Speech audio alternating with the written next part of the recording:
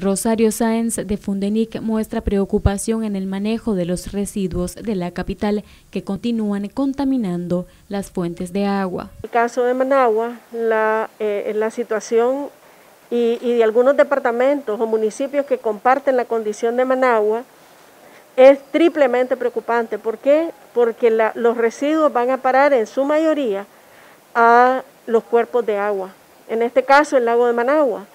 Recientemente una información de la alcaldía eh, señalaba que casi 2 millones de, libras de residuos se encuentran alojados en los cauces de Managua.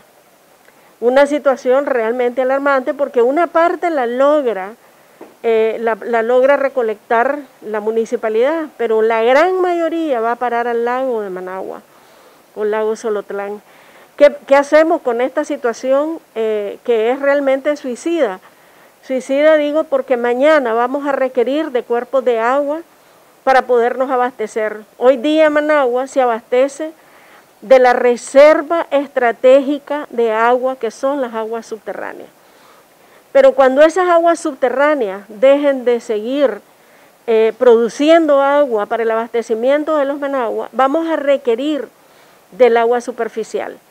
En realidad esto debería de ser inverso, deberíamos de estar usando las aguas superficiales y dejar como reserva las aguas subterráneas. Sáenz recomienda que las autoridades municipales inviertan más en la colecta de la basura.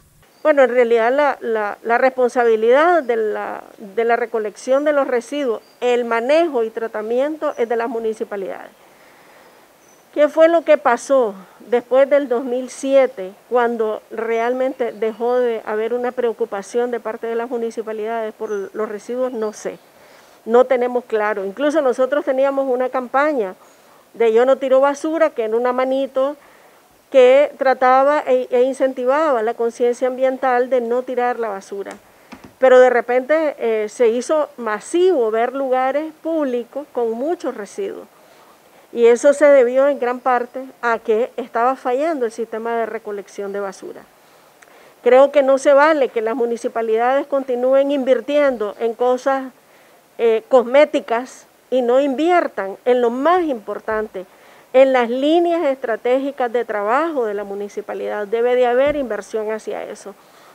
Basta de pinta, de andar pintando de colores, basta de andar con banderolas Basta de andar con estos excesos de, de, consumo para, para la alegría nacional cuando la alegría consiste en tener mejor salud y una mejor calidad de los servicios que se prestan por parte del Estado. Para Noticias 12, Anduriña Ortiz.